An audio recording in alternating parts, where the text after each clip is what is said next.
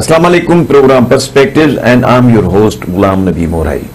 Viewers, we discuss in depth the subject from various perspectives in this program. As usual, an intellectual, a writer, Syed Mohibullah Shah is with us. Shah Sahab, Assalamu alaikum. Shah today's topic is New World Order. And my first question is, what is meant by a world order and how has it changed? Thank you, Muraisha.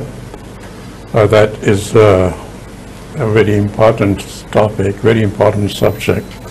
And uh, generally, uh, it's uh, something which is being talked about. Uh, many ideas, many questions are there, but how this new world order is going to shape up, we'll talk about it. Uh, but let us first see, as your, your first part of your question is, what is a world order? And I think uh, we can tell, explain this to the viewers, and from there on, we see how it has been changing uh, over time. Now, when we talk about a world order, what we are saying is that there should be, or there has been an arrangement, a system of relationships between nations, between countries, for the purpose of keeping political stability in the region or in the world. So, how to keep a political stability? What kind of an arrangement? What kind of a system should exist or has been existing, as your question says, how it has changed. At different times, different kind of world orders existed, and then they kept changing from one world order to another to another, and then ultimately we will talk about what is today's position of what kind of a new world order is shaping up. Let us, the first question that we uh, ask ourselves is, what are the factors which influence this world order? That how, why does it change from one setup, one arrangement, one system to another system, another arrangement?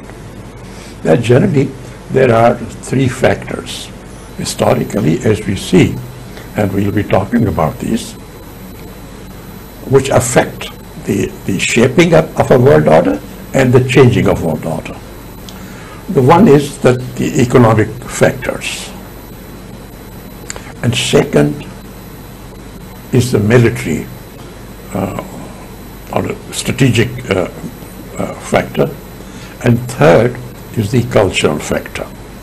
These three um, have a major impact on um, creating a world order or a regional order. If we are talking about a few centuries back, then uh, the, the communication systems, let us say 500 years ago or a thousand years ago, the, the communication systems were very slow. and the networking was generally limited to various regions. It was not worldwide. Now, of course, the communication systems have been very fast, technologies are there, and the interconnection is not just regional, interconnection is worldwide. So, there were regional arrangements or regional orders, which, if we go back into the centuries, now we can start this, can go back as far as we like, but let's begin how the medieval world changed into the modern world. What was the world order as the world was changing about 500 years ago from medieval to modern? And this change did not happen in one year or in 10 years. It happened slowly over centuries. We'll be talking about that also. But if we look at the, uh, the medieval world, that's about 500 years ago, about for, you know, for a thousand years or so, up to, say, about 15th century, 16th century, about that time, Asia was the center of the world, and Asian powers, the world order was shaped by Asian powers and by Muslim powers. Europe at that time had become weak. America did not exist as a country. And uh, in Africa also, there was nothing comparable to what was happening in Asia. This was the center of the world, Asia.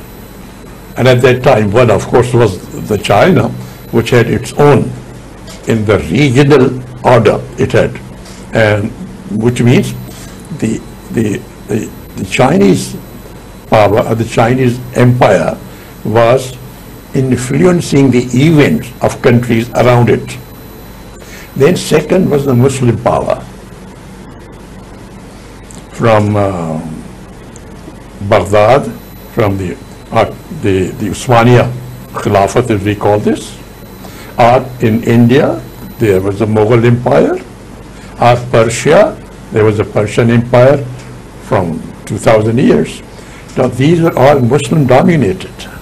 So this order in the, this region, this order was the order which was shaped by the Muslim empires. Far east, the order was shaped by a Chinese empire. This was more or less the world order. In Europe in those days, they were small powers. They was not, there were no big power. There was one Roman Empire, but that had disintegrated. That had lost its power. And there were many wars between various European countries and therefore uh, they, none of them emerged, which it took some time when we'll come to it. So, if we are looking at 500 years or so, okay, the world order, or whatever was the world in those days, was shaped by China in the east and Muslim world in the rest of Asia, and even to parts of Africa and, uh, and Europe. Okay, so then from medieval it started to change and started to change and then slowly this world order which was shaped by the Muslim empires was weakening. It became weak and weak and weak and there was a rise of the European power. Now this event, uh, generally it happened around end of the 15th century or the beginning of the 16th century. And the reason is again very interesting. The reason is that in 1453, 1453, the Turks came and conquered Constantinople, today's Istanbul. Okay? Now, Istanbul was part of the Roman Empire which had broken up and this was called the Holy Roman Empire. So when the Muslim power, the Turks conquered Constantinople and they called it now Istanbul, then the European powers receded and what happened? They lost the war but there's something else which they gained. That is the rise of the European power. Now what did they gain? The people of knowledge who had gathered because Constantinople was a big major center of learning, of knowledge, of skills, of everything. They moved out. Mostly they were Christians. They moved out, dispersed to European countries. And then the Renaissance, the the rebirth of knowledge in Europe took place. Among the major events, now this is shaping a new world order. That is why this is important. One of the factors which shaped or shifted power into hands of Europeans was the printing press, which was the late 15th, 15th century in Germany.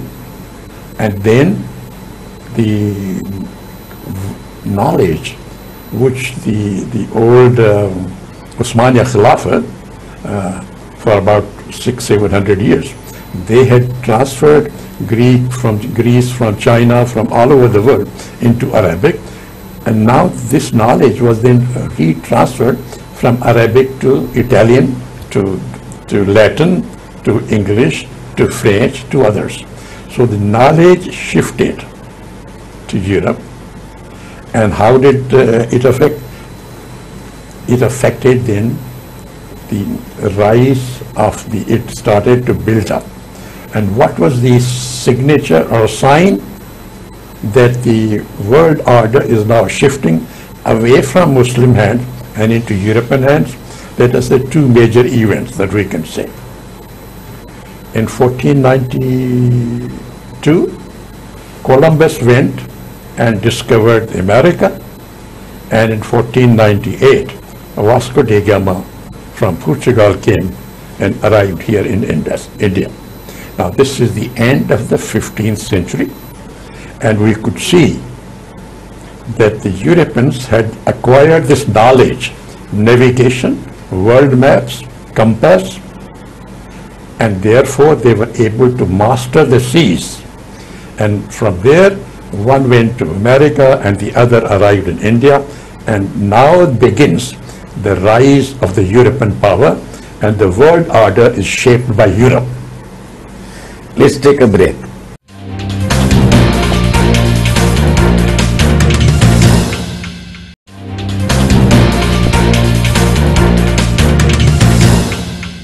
Welcome back.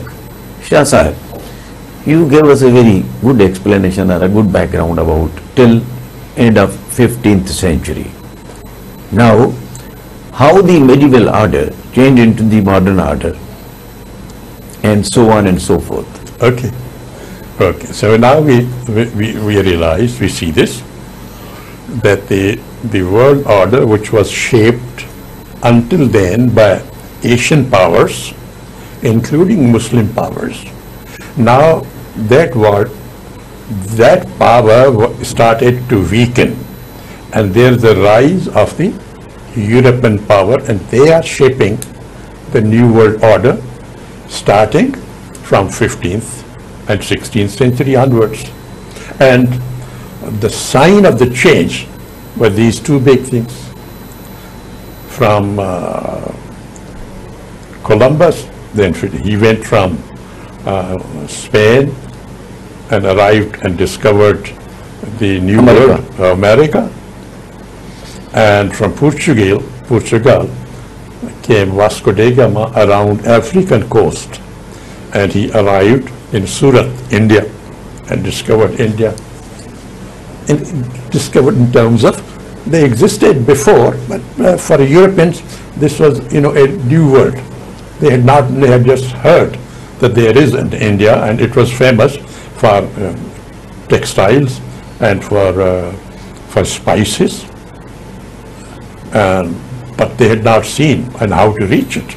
Similarly, about the about the Americans, Americas. Okay, so now we see that the world order was earlier shaped by Asian powers. Now the world order is being shaped by European powers. From 16th to 17th centuries, it, it continued. Now it's very interesting. Uh, and this is slow. Again, the, what, the other thing that should be noted is that, as I said earlier, the world was not so well connected. The means of communications were very slow, by ships, which would take years, or by camels, or by horses. So, you know, the, the interconnectivity was very poor, very slow. Uh, therefore, every change would take long time. This change also, it took couple of hundred years. The decline of the Muslim uh, power and the rise of the European power, they were shaping the world. So, as how were they shaping the world?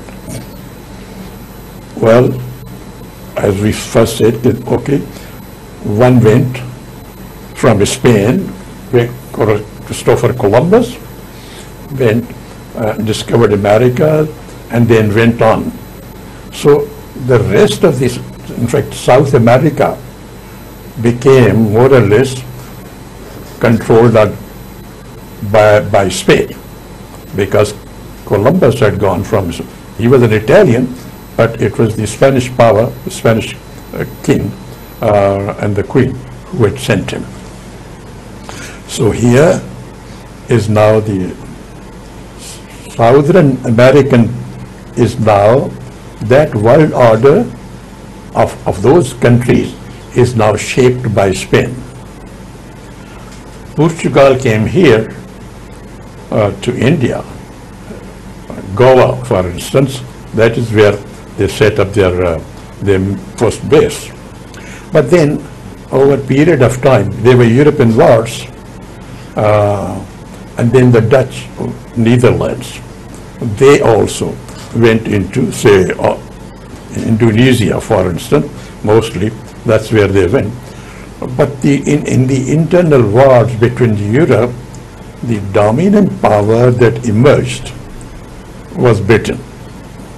There were British wars against Spain and other uh, European powers, and finally, the uh, Britain became the dominant Eu- European power and was able to establish, let us say, a world order of its own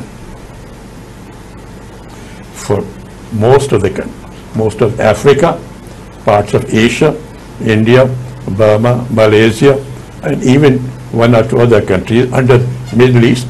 They were under the influence, either direct or indirect. So the world order was shaped by European powers in 16th, sev- on 17th onwards, and then it came into full bloom in the 18th and the 19th centuries. Now, it's very interesting that, uh, for instance, we talk about India. Even though the decline of the Muslim power, or let us say we talk about India now, of the Mughal power had started after the death of Aurangzeb. Uh, Because then there were a lot of fights among themselves, and that's another chapter, chapter altogether. But even when the Muslim power declined in India, India was very rich, as, as I said earlier, that for a thousand years, Asian powers had dominated and they had more or less set up the world order according to their likes and preferences. What had happened therefore for those centuries was that most of the wealth of the world was concentrated in China and in India. About 50% of the wealth of the world was in two countries, about 25% in China, 25% in India, and about 10% or 12% in the rest of Asia, Middle East, uh, Southeast Asia. So Asia at that time controlled 60% of the world GDP. That is the right, that is when the Asian dominance, when Asia was shaping the world power or the world order. Uh, interestingly, as European power rose, as and, for instance, uh, when India uh, started to become uh, colonized by, by East India Company, uh, one figure can be very interesting for our viewers. At that time, the wealth of India, as I said, about 25% of the world GDP in mid 18th century was concentrated in India. That is where the wealth was being created. And that wealth from India was equal to the wealth being created in UK, in Britain, in France, in Germany, and in United States, those 13 colonies. All four put together were less wealthy than India. But India was losing uh, in technologies, in military power, in organizations, in knowledge and skills, and this is why, even though they were rich, but they were losing. So we see that about 18th and 19th century, this Europeans now, they were shaping, they, they were shaping the, the American continent, Britain was, and France, they were shaping the North America, and Spain was shaping the South America. And the Asian, mostly Asia and Africa, again, it was uh, Britain, in Africa, partly France, and, uh, and the Dutch and the Netherlands. Now, this is now, we are coming almost to the end of the uh, 19th century and beginning of the 20th century. Now, what do we see? How is the world order shaped? The world order is shaped in, in this way.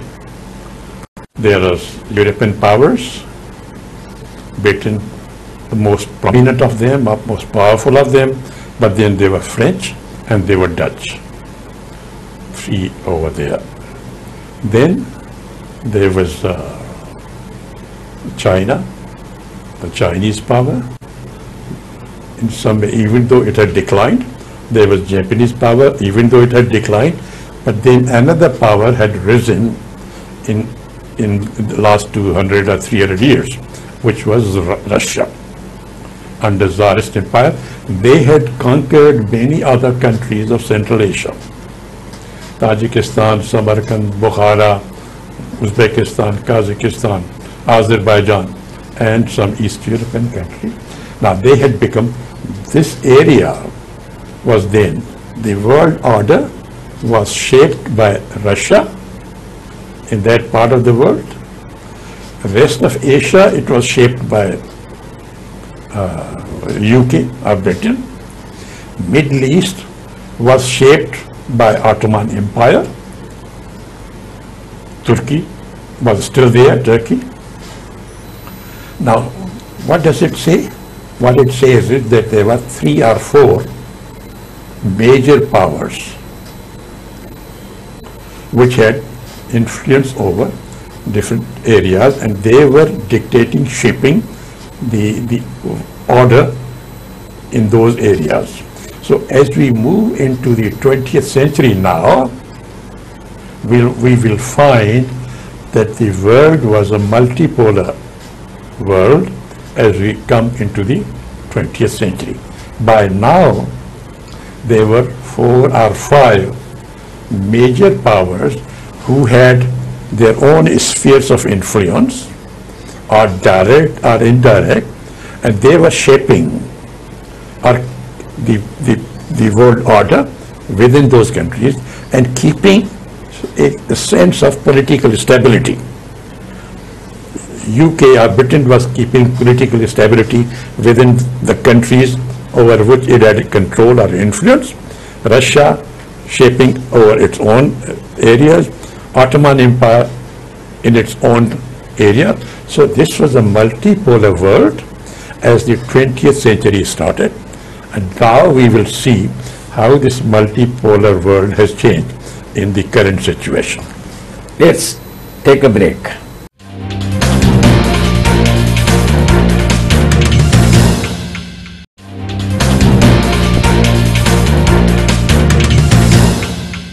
Welcome back.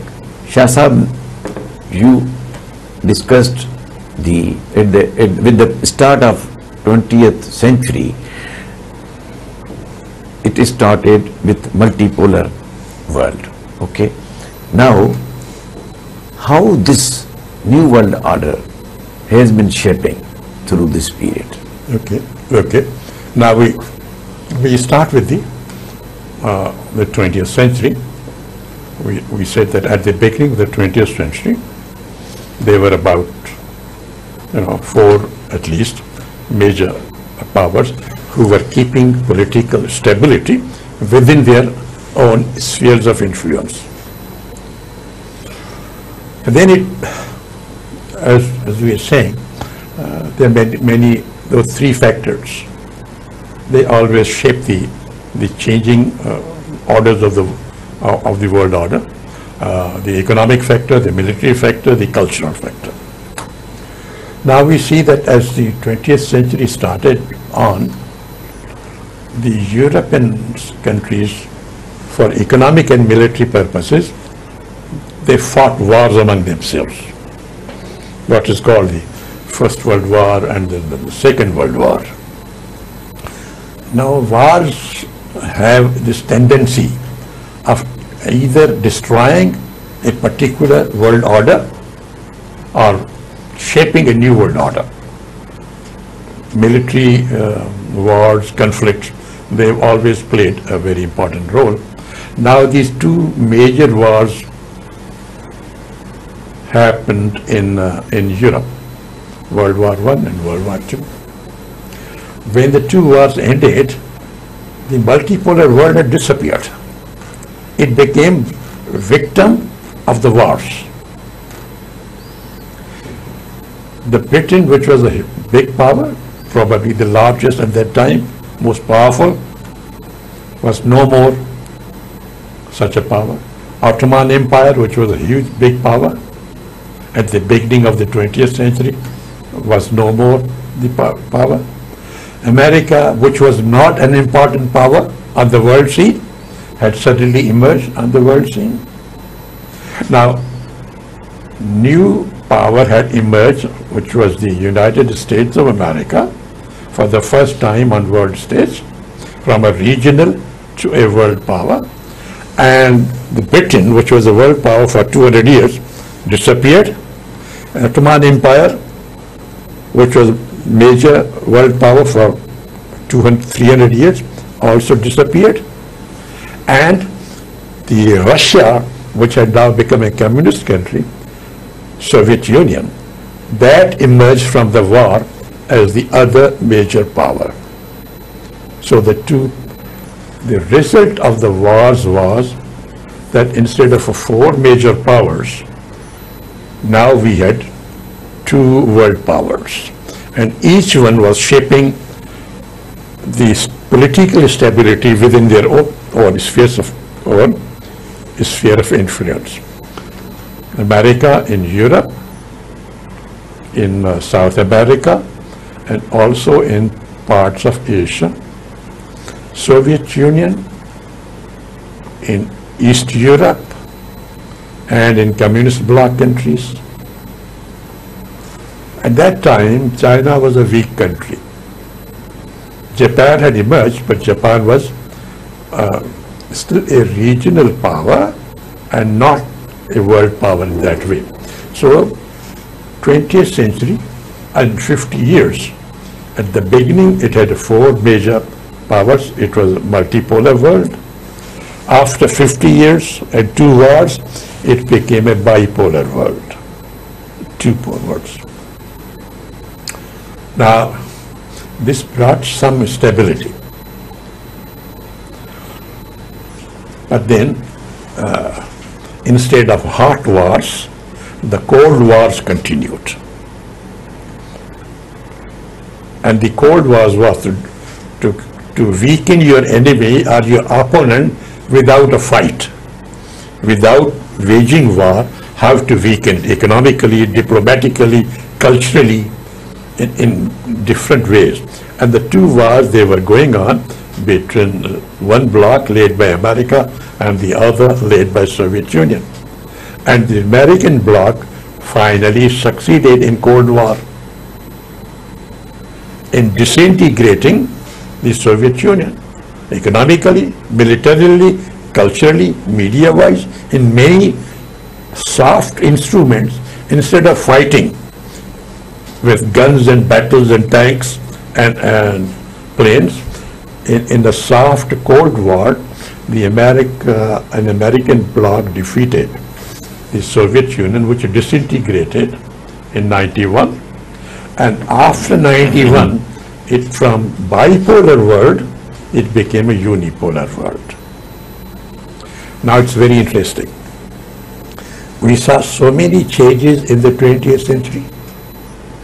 20th century started with four major powers, a multipolar world. After 50 years, it became a two powers, a bipolar world. After another 40 years or so, at the end of the 20th century, it became a unipolar world uh, led by America. See? Now, two things are happening. We saw that in the old days, in the medieval days, the empires of a particular world order shaped by whether China uh, or Mughal empires or uh, Persian empire or the British empire, it lasted two, three, four hundred years.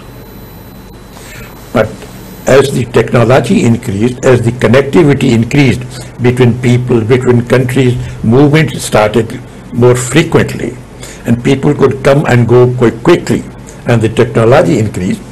So the change which was earlier taking place in 200 or 300 years, one change in 300 years or in 400 years, now in 100 years of 20th century, we saw three major changes multipolar world one and the bipolar came up. When bipolar went up, unipolar world came up. Within 100 years, three major world orders changed. Now the technology was there and the movements are there and interconnectivity was there. Now, how did this, how long has this unipolar world of America lasted? Now that is where we want to talk about how this new world order is shaping up today. Now, this unipolar world, let us say, as we talk today, is about 30 years old. From 91, and we are now talking in 2023, so, you know, about 30, 34 years. But this has been the shortest period for a world order to stay in, in existence. Instead of 200 years or 300 years or even 50 years, this American power is being eroded or weakened and an alternative new world order is shaping up within 30 years of creation of a unipolar world. Now why is it happening? why there is a quick change. Why is American power weakening in such a short time? A number of factors. One, for instance, the, when the unipolar world, American power became supreme, no other power could compete. It started into creating many wars much of the, you know, America's, instead of goodwill or a, a soft influence, expanding it, it, used that unipolar war power into wars and conflicts. There was war in Iraq, in Afghanistan, in Libya, in Syria, and in other countries. Now, so the the finance and military power was money was used into wars and they were wasted away. And it created an anti-American feeling in many countries. When you go to war, you may win the war, but people become anti-you. So one was that these too many wars were fought by America, so that created a little problem. Second, the, the technologies uh, and the, the, the instruments of power that had given such strength, the economic strength, technological and military strength, were also now acquired by Asian powers. So they were also rising while America was wasting uh, its energies in fighting wars. And then there was a big uh, financial crisis, uh, 2007, 2000, for two, two years, 2007 to 9, the major financial crisis over there in the United States, for instance. It weakened American power. But third, then America used the dollar as an instrument to punish its opponents. Americans' economic sanctions and refusing uh, the dollar payments to various countries, especially the Russia and China. What happened is that these two, three factors, they contributed, accelerated the process to create an alternative world. And the sign of that alternative world is the setting up of BRICS.